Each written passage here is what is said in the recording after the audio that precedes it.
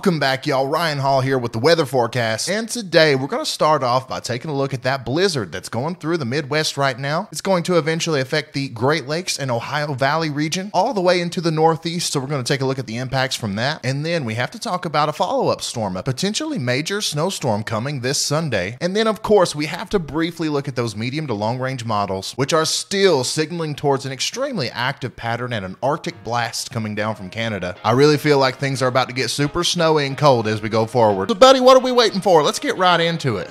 All right, here's our storm, son. We've got a major snowstorm cranking up here near Cedar Rapids. Eastern Iowa is getting some snow out of this. Man, Eastern Iowa is the winner of this winter. You guys are Snowtown, baby. But look here, right around Davenport, we've got extremely heavy snow showers falling. And of course, we do have those winter storm warnings in effect here. Uh, this is going to continue moving north and east. Chicago, you're going to end up getting some snow. And then back here in central Iowa, look at here, we've got blizzard warnings in effect. Northwest winds in excess of 45 miles an hour are expected here. So the snow, along with the winds, makes it a blizzard, son. A classic blizzard. A classic Iowa blizzard. And then south of the snow, of course, we've got rain showers from Peoria all the way down to St. Louis, into Evansville, Indiana, Bowling Green, Kentucky. This is all going to continue moving off to the east. Nothing too uh, spectacular going on with these rain showers. The headline of this weather story is the snow. Speaking of snow, how much they got though? Already, as of about 10 a.m. this morning, four to five inches of snow has fallen in Minnesota, five inches here in Buffalo. Near Sioux Falls, they've got about four inches. Let's see how much more is going to fall by looking into the future on the weather models. We're going to start off by taking a look at the HRRR model. She's a pretty good model at this time range, all right. We're going to put this simulated radar into motion. Here we are at 1, 2, 3 p.m.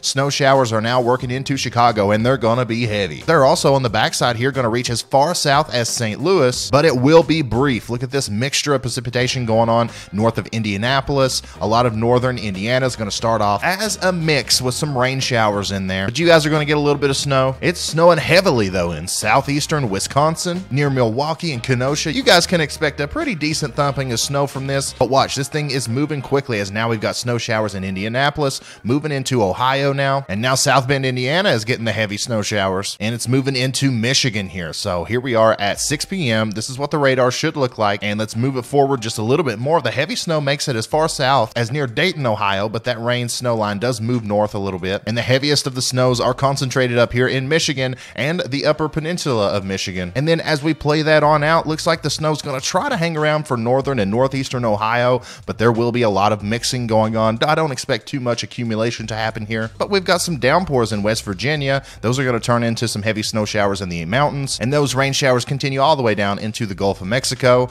And then as we play this on out, look at here, the snow tries to start in Pennsylvania, and it will try to continue to move on into the northeast. We'll look more at that here in a second. For now, let's take a look at those expected snowfall totals here in the Great Lakes and Ohio Valley region. Six inches or more is expected here near Davenport. Two or three inches is possible in Chicago. The winners here are the Upper Peninsula of Michigan and northeastern Wisconsin, with a broad swath of over six inches of snow expected. Nobody's getting buried in snow up here, but I mean that's a you know that's nothing to balk at. Western Michigan can see three to six inches of snow. Grand Rapids here, I think if you get under that right little snow band that that kind of amplifies as it moves off the lake, um, you could see more than six inches of snow easily. Now we do have these one to three inch totals peppered in here through central Illinois, central Indiana, northern Ohio. I think that you guys probably won't end up seeing very much snow on the ground when this is said and done. But yeah, that's how this storm's going to affect the Ohio Valley and Great Lakes. Let's see how it's going to affect the Northeast. All right, let's take a look at the Northeast. We have to switch over to the NAM model. Our high resolution rapid refresh model just couldn't see that far out. So here we are at 7 a.m. on Friday. We've got some moderate snow showers breaking out all across Pennsylvania from Pittsburgh all the way to Philadelphia.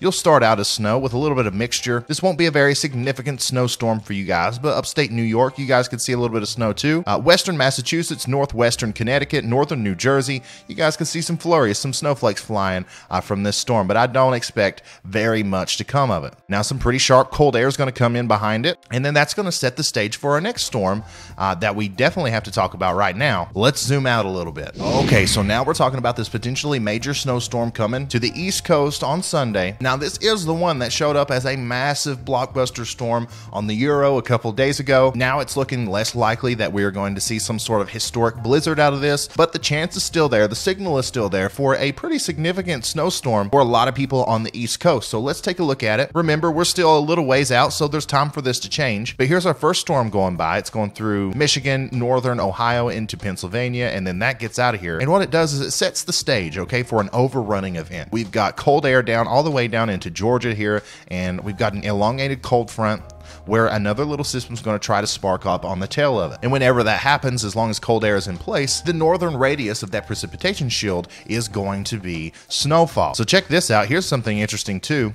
1 a.m. Saturday, February 6th, it may be cold enough for some snow to try to be mixing in in central Georgia and central South Carolina. Still unsure about this, but the possibility is there with that 540 line all the way as far south as Huntsville, Alabama. And let's put this into motion. Here comes our next storm. As you can see, it looks really similar to what we were looking at on the Euro the other day with that massive storm, but it's weaker. And the cold air up here that's coming down is weaker. And this disturbance over here is weaker. So the ingredients are still there for, you know, something that's absolutely crazy, but everything is just a little bit toned down as we push this forward. Here we are now, Sunday at 1 a.m. We've got heavy snow breaking out across Virginia, eastern Tennessee, very northwestern North Carolina and West Virginia. Also, another reason why this isn't bombing out completely and becoming this giant storm is because the injection of this secondary disturbance is a little bit delayed. We need this to be faster and we need it to phase right around here rather than up here. But here's our low pressure system off the coast of North Carolina, 1003 millibars, looking like once again heavy snow in Northern Virginia, Maryland, and Delaware.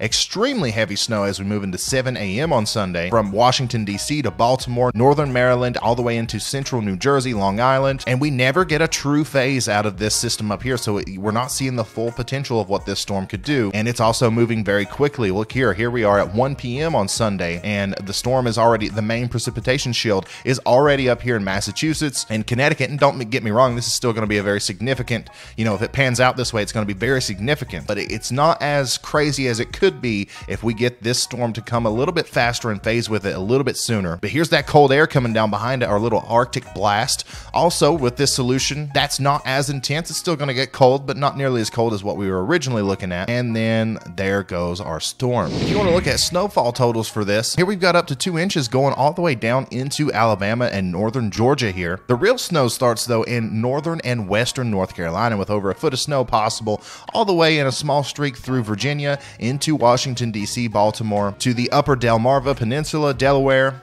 and into New Jersey. Let's switch to the northeast view. And as you can see, the high totals extend all the way into New York, Connecticut, Rhode Island, Massachusetts. As you can see, a lot of these totals are around 9 or 10 inches with a broader swath of 6 inches or more. And the reason these totals aren't extremely high is because of how fast that storm moves through. Additionally, we never get phasing from that secondary storm, uh, so it's not as strong as it could be. But here we have a signal of a very significant storm with the possibility of some phasing happening and a warm enough Atlantic Ocean to where if we do get that that phasing happening. We're going to have some bombogenesis. It's going to bomb out, son. And everybody in this circle right here is going to be in Snowtown, baby. Or Snowtown, maybe. Now, there are a lot of moving parts with the storm. I think there's a huge potential here for us to see something more significant than what the NAM just showed. Doesn't mean that it's going to happen, but we do need to explore the possibilities. I could spend over an hour talking about just that storm right there, analyzing different models, different data points, looking at analogs and stuff like that. And that's exactly what I'm going to do tonight at 8 p.m. Eastern. We're going to have our first ever super in-depth live stream for members only. So if you are a member of the channel, make sure you're there tonight at 8 p.m. If you can't be there, don't worry, it'll be recorded and and you can watch it later, but if you're there live with a smaller audience watching, I'll be able to answer every single question that's asked. If you are not a member, make sure you click the link in, down in the description that says join to become a member of this channel, and you will have exclusive access to all kinds of cool things, including uh, the member only super in depth live stream tonight. All right, let's zoom out a little bit further and look a little bit further into the future on the GFS. All right, let's put this into motion. This is the 12Z GFS. There goes our first storm, and the GFS actually has that cold air coming down a little bit more intensely and bringing some backside snow showers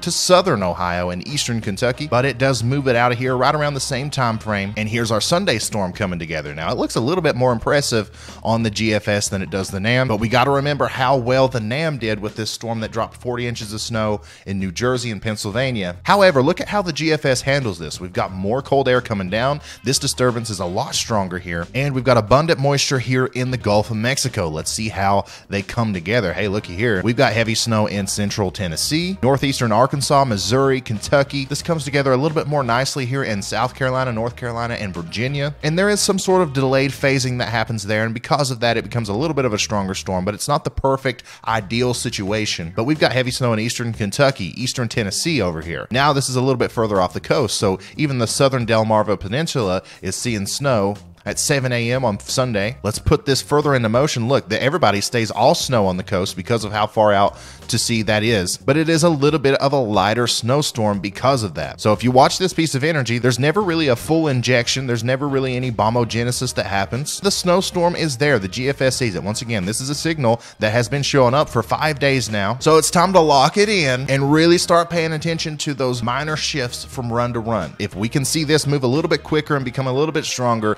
we're going to see a massive snowstorm on our hands, guys. But if it's a little bit slow, if it stays delayed, um, you know, it'll be a quick hitter. But even if it happens the way we're showing here on the GFS, hey, South Carolina, North Carolina, Virginia are going to be very happy. Now, let's look further into the future. What else we got going on on the GFS? Little moderate snowmaker moves through on February 8th and 9th. And then we've got what looks like another storm forming here on the 9th of uh, February. Tuesday, we got a mix of snow and rain and sleet in Arkansas, Missouri, and then that moves off to the east, but it kind of gets torn apart by our cross polar flow here, and there's nothing to worry about too much there. But then another storm comes out of the Rockies, meets up with a ton of moisture from the Gulf of Mexico. Now, this is all the way out at February 12th. Don't want to look at this too closely, but there's our massive cold air coming in behind it heavy snow in Kentucky here. Pretty significant ice storm for Tennessee, eastern Kentucky, all the way down into Mississippi, Arkansas, Texas. And then that moves off to the north and east, and that does become a pretty significant nor'easter February 13th. Okay, so we we also we need to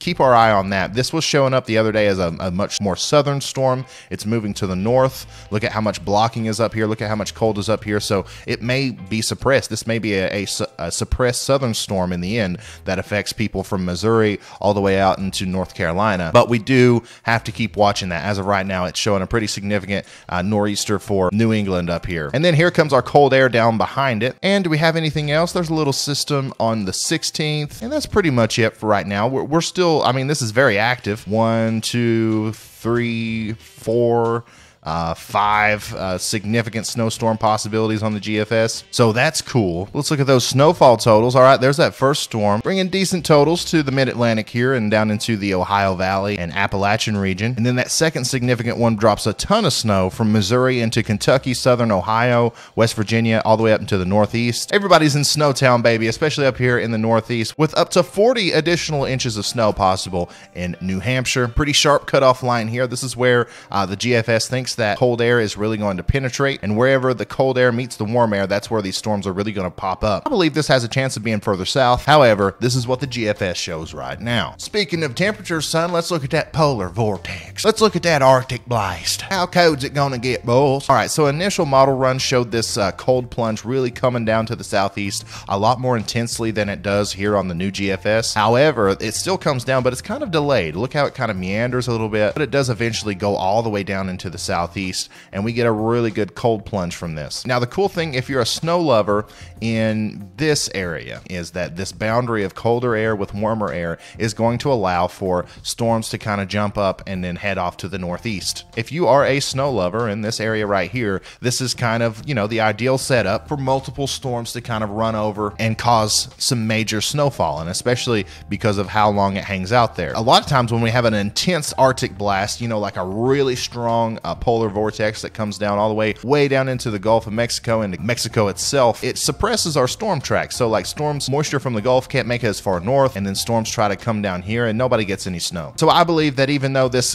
cold air isn't nearly as intense as what the Euro showed of the other day, it's still very intense. It's going to be the coldest air of the season, and it's going to set the stage perfectly for big snowstorms as we go into the future. All right, guys, that's all of the weather talk I have for you today. I hope you enjoyed it, and if you did, make sure you slap a like on this video right now. Subscribe if you haven't already and turn notifications on. Once again, remember, I'm going live tonight at 8 p.m. Eastern for members only, an exclusive live stream. So if you've been thinking about becoming a member, but you're like, ah, I don't know, right now's the time to do it, okay? I appreciate you guys so much for being here. The channel's growing like crazy. We're going to hit that 20K goal really soon. And buddy, I'm just over the moon about it. Thank you so much. I'm going to end this here, but I will see you in the next one, all right? Goodbye. Woo!